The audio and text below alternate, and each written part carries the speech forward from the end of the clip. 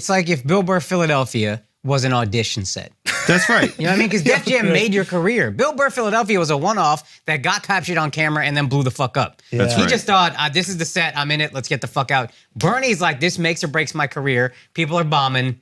Fuck everything. This is what I'm gonna do for five minutes." Yeah. That's crazy to me. Just call the audible on the biggest moment of your career and say, "This is what it is," and then bury it. Yes, and some and both of those had this something in common, which is not comfortable, feeling attacked, not Yeah. happy to be there, Yeah. but in control of it. Yeah. and and and weapons, great great jokes. Yeah. that's a, a- an enormous. That's and that's lightning in a bottle. It's very hard to. Yeah. it should be hard. It, yeah. It should be a hard thing to achieve. Yeah. You. Sh- yeah. I, I, The one where Don Herrera got heckled and he went on and, and he literally attacked the crowd. It made Bill Burr a legend. Uh, that was when B- Bill. I was He standing there. Philadelphia. I was standing there. I was at under the fucking monitor, right through the curtain that I was going to come out. I had the sweet spot. You know, Bob will do like 25 minutes in, in the middle because I'm, yeah, I was just a bitch. So then they put me there, and it, it was a sweet spot because you take a lot of bullets coming up with a Philly audience, you know, and a Jersey audience. And Bill, I'd, I'd known him, but I, I'd seen- known him through clubs, but I, but he got out there and they were booing him and he's so fucking awesome. His the way he's made that whole fucking Boston brilliance, and he just started to pummel them back and said the worst things you can say, every inappropriate thing you could possibly say, calling, talking about their cheesesteaks and the Sixers, and just you know the thing you Yeah, saw yeah, yeah. I've seen it. And I watched it, and I'm like, this is fucking great. Fuck and you was- and fuck the Liberty Bell.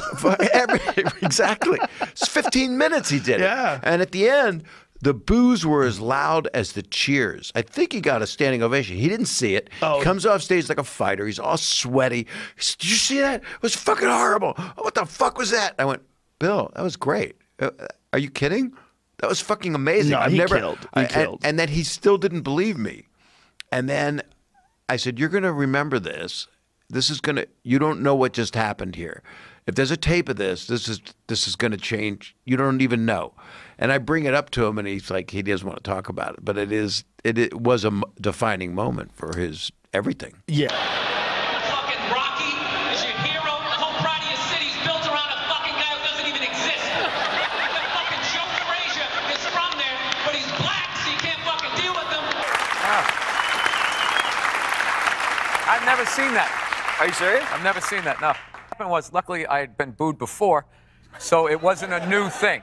So I remember just afterwards thinking about it, going like, why didn't I, I let that fat guy boo me? I let that chick with the weird glasses, like, why didn't I say something? I just remember thinking I was just mad at myself. So here's the funny thing. So we still had one more date on that tour. And it was like, as I walked out on stage, everybody booed because they wanted me to trash their city. So then it became this thing. It was like, I can't do this again, or then this is my act. This is like Gallagher smashing the watermelon. Uh, that was the one I freaked out about because I thought it was like, I thought my career was over. I was like, everywhere I go, I'm going to get booed. I'm glad that people enjoyed it because I was definitely, I was embarrassed that the whole thing happened.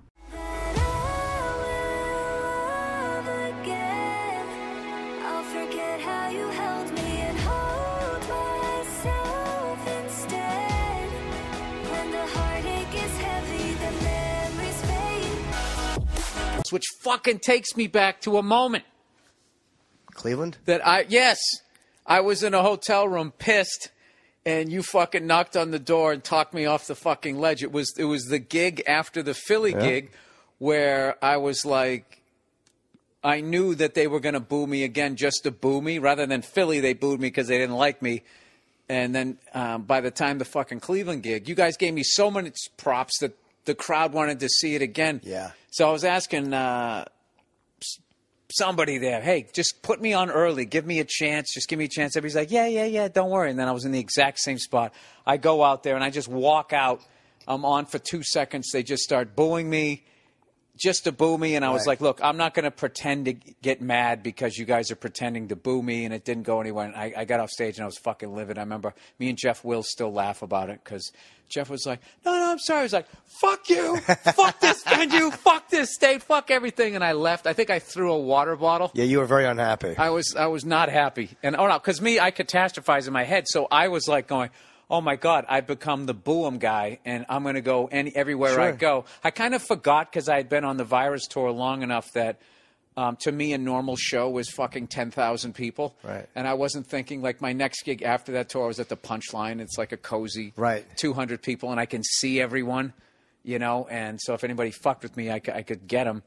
And uh, so, anyways, so I go back to the fucking hotel room, uh, ready to quit the business, and I hear a knock on the door, and you came walking in and f- fucking talked me off the ledge. I remember that. I don't even remember what we sp- we spoke about. I just remember you were very upset, and I knew why. And you were like, "They fucking," and I was like, "Dude, they did it because they were trying to recapture a moment that they wanted to be a part of something that was very amazing to them, as opposed to they hated you. You know what I mean? Oh, but no. I, I didn't. and I was convinced everyone was out to get me.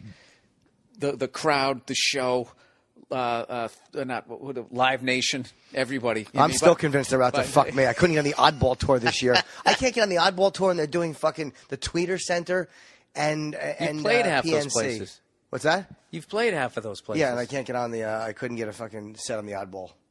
Ah, whatever. They'll have it next year. because then you're on stage in front of 10,000 people and, and getting an unfair booing. That was when we first started on K Rock.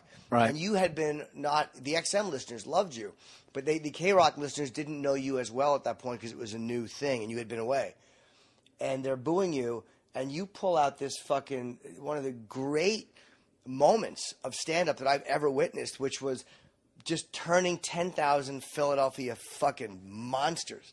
And they're the worst crowds in the world if they don't like you. And you turned them. You did the impossible. And that's, that, that's like. Well, I, that's I lucked years out the that. sports thing. There was enough Jersey and New York sports fans. You know, the Patrick Division and and uh, whatever the ML, the National League East or whatever. There's enough Mets fans that hated the Phillies. There's enough fucking fans that everybody hates the fucking Flyers. You know, except for Philly fans. So I was able to do that. But what was funny was I actually when I finished that set.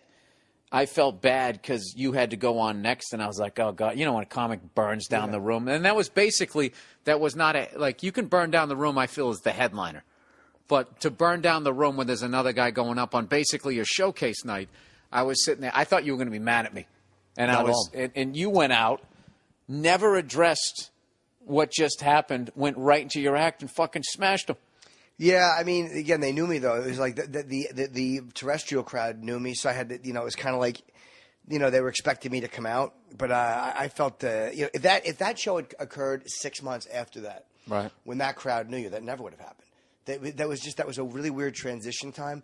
But what you did with that crowd, I mean, yeah, it was the sports knowledge, but it it was about uh, the ability to pull that out in front of all those people because it took a while. They didn't just start. Well, you know what? I I had been booed before. A couple. I've got booed uh, on a Vegas show. I and and I didn't leave, but I didn't know. The first time you get booed, dude, is fucking unreal. It's like it's the weirdest experience because you have exactly what you want the to- the total focus of the crowd, but the exact opposite emotion. Right. I've always compared it to like you know when they do the reverse echoes on those Zeppelin things to make it seem like you're in hell. Like the echo comes first before your voice. That's like sort of the stand up version of that, where it's like they're cheering but they're booing. It's the most fucked up thing. And and I remember after getting booed, um, just fucking walking through the hotel, going back to my room, and, st- and I started thinking about people in the crowd.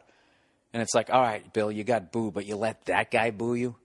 You let that woman with that awful dress, that guy with the big head. You could have at least said that. It was just so shocking the first time it happened. And also, I. Uh, you know, I did a lot of those uh, the uptown rooms, they called them the black Oh, rooms. black crowds, yeah, yeah. So you kind of had to get, you know, I was in fighting shape, so it somehow. Uh, I just remember Opie coming through the the curtain. Opie and Ant, I think he had his glass of red wine, and Opie just came walking through and was just like, he said, he goes, that was one for the ages, bro. And Yeah. just came walking out. And what was funny was you went out and killed, and the second that was done, that was the end of the show. And then they brought me back out for the curtain call, and I got booed again, half clapping, half booing. And I remember there was this dude who ran up to the stage. He was going, Bill Burr, he's screaming, he's going, fuck you, fuck you. And I'm going, what? And he's he's giving me the finger. He's going, fuck you, fuck you. And I kept going, what? It's like, uh, you're giving me the finger. How do I not know? I just kept going, I, I, I can't you. I literally got him hopping mad. He was jumping up and down, screaming, giving me the finger. I just kept going, I, I can't. And I kept doing, cupping my ear like I can't hear you.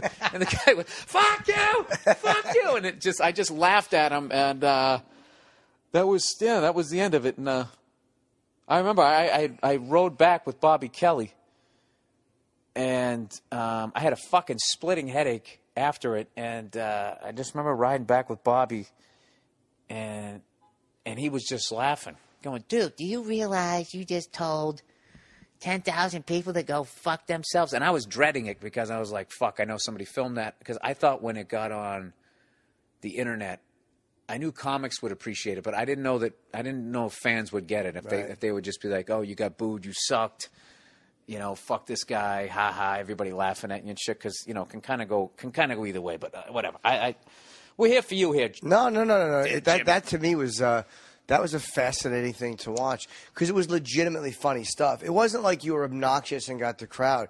Like you were really pounding them like a comic. Like that's what was so fun about it. If you had just taken your pants off and waved your cock at them and. Uh, like all right, any idiot could. But what you, Still fucking hilarious though. but you, it would be, that would have been much better, obviously. But I mean, that would that, that was still, that would have been like instant legend. But the fact that you got them as a I, I, comic, saw, I saw a guy do that.